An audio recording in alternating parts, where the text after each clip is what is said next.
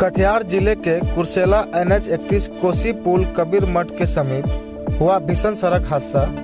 रांची से सिलीगुड़ी जा रही यात्रियों से भरी शिवम डिलक्स बस सड़क किनारे गड्ढे में पलटी मार दी, जिसमें चार दर्जन से अधिक लोग घायल हो गया और दो लड़की की भी मौत मौके पर ही हो गया। मौके पर पहुँची सदर अनुमंडल पुलिस कुर्सेला। स्थानीय ग्रामीणों के मदद से घायलों को बस से निकालकर कुर्सेला प्राथमिक स्वास्थ्य केंद्र में कराया भर्ती, जहाँ प्रथम उपचार के बाद बेहतर इलाज के लिए भेजा गया सदर अस्पताल।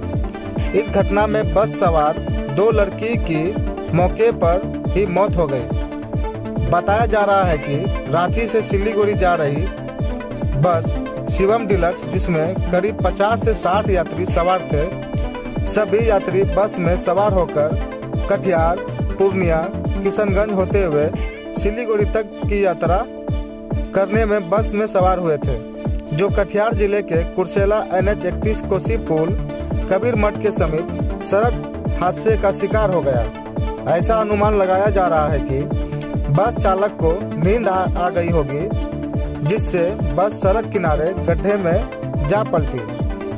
जिससे बस में सवार दर्जनों यात्री घायल हुए तथा दो की मौत हो गई।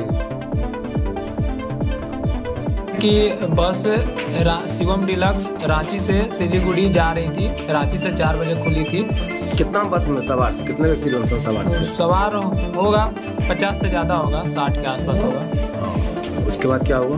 उसके बाद हम लोग करीब दस साढ़े दस बजे कोडरमा से पीछे एक जगह वहाँ से चाय नाश्ता करके खाना पीना खा करके आगे बढ़े जैसे ही। हम्म। वैसे ही ये कुरसेला कुरदरा पुल के कुरसेला पुल के समीप एक बस आकर के मतलब वही हम लोग जिसमें थे वो बस पलट गई अचानक से। और कुछ मरीज़ कुछ लोग चोटिल हुए हैं घायल हुए हैं और कुछ लोग उसमें बस में अभी भी फंसे हुए हैं। और पुलिस को मैंने सौ नंबर पे कॉल किया तो पुलिस आई दस पंद्रह मिनट के बाद और अपना परिचय बताइए। मेरा नाम राहुल कुमार है मैं पलामू से हूँ।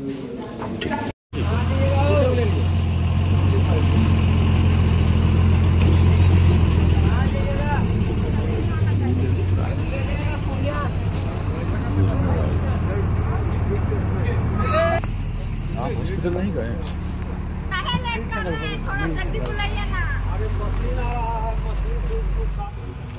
बेटे दीदी